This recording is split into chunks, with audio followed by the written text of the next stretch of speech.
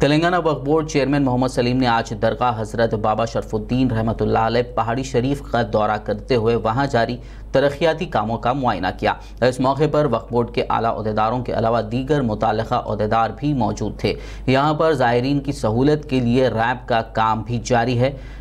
तफसीली मुआयने के बाद मीडिया से बात करते हुए मोहम्मद सलीम ने लैंड ग्रैबर्स को सख्त वार्निंग दी। उन्होंने कहा कि गैर कानूनी तौर पर ज़मीन कब्जा करने वाले और ज़मीन को फ़रोख्त करने वालों के खिलाफ क्रिमिनल केसेस दर्ज किए जाएँगे। उन्होंने कहा कि अगर गैर कानूनी कामों में कोई वक्फ बोर्ड का मुलाजिम भी पाया जाता है तो उसके खिलाफ भी सख्त कानूनी कार्रवाई की जाएगी।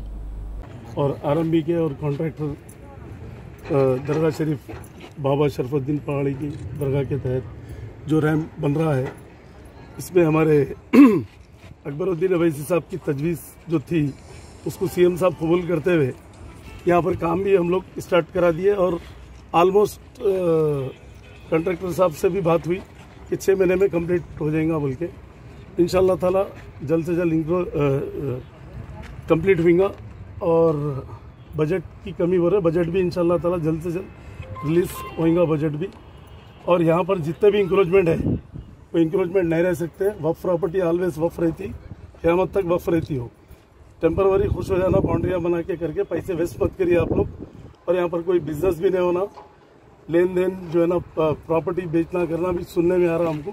इसके ऊपर क्रिमिनल केस हम हुएँगे गलत काम होगा तो यहाँ पर जो है ना, सीधा जेल को जाना पड़ेगा। हम खामोश नहीं बैठेंगे। लीगल काम लीगल तरीके से हम स्टार्टिंग काउंसल्स को भी हम लोग एकदम स्ट्रांग कर रहे हैं और नए भी अपॉइंट कर रहे हैं हम लोग। और लॉ डिपार्टमेंट हमारा वीक था तो हम उसको भी स्ट्रांग करके जो है, हम लोग थोड़े लोग को अपॉइंट करके हम लोग जो है ना सीरियसली जो है जहाँ जहाँ भी इंक्रोचमेंट है।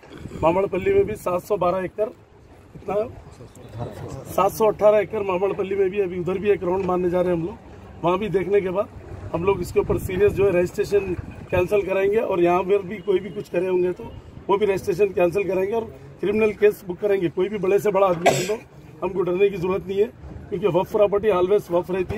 ये अल्लाह की अमानत है, इसको प्रोटेक्ट करना हर एक का काम है, क्योंकि हम, हमारी ज़िम्मेदारी है, क्योंकि सीएम साहब हमको चेयरमैन बनाए तो हम पूरी प्रॉपर्टी को देखना, करना, हर चीज़ सीईओ चेयरमैन पूरा डिपार्टमेंट हमारा लगे हुआ है इनशाला ताला। अगर डिपार्टमेंट में भी कोई गलती है तो डिपार्टमेंट के आदमी को भी सस्पेंड करेंगे हम, क्योंकि खामोश नहीं बैठेंगे हमारे वफोट के आदमी भी गलती करे तो।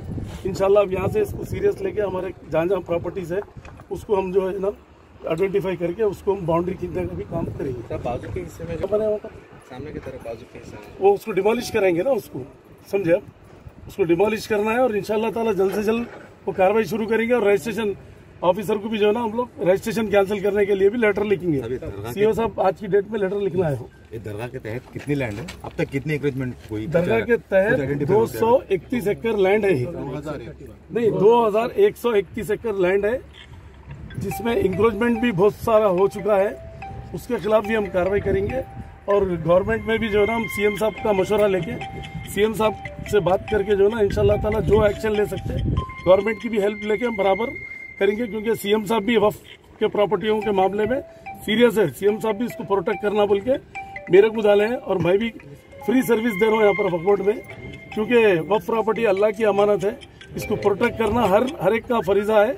इन ताला हम इसको सीरियस लेके हम खामोश नहीं बैठेंगे कोई भी बड़े से बड़ा आदमी रह दो उसको छोड़ेंगे ना। रैम जो है पिछले तीन साल से इसका काम कॉन्ट्रैक्टर साहब जो है बीच में छह महीने बंद कर दिए थे काम। अभी हमारी बात हो चुकी है।